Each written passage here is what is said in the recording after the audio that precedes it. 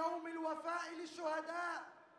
أهلا بكم في يوم تخليد أمير الشباب وباعث الأحلام الشاب الواعد الحالم الشهيد بيير أمين الجميل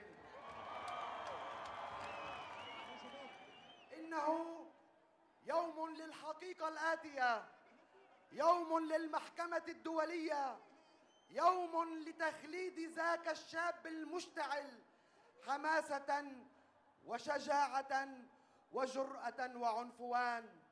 إنه يوم الحرية المتجددة. إنه يوم 14 آذار المتجدد. إنه يوم الأكثرية الحقيقية.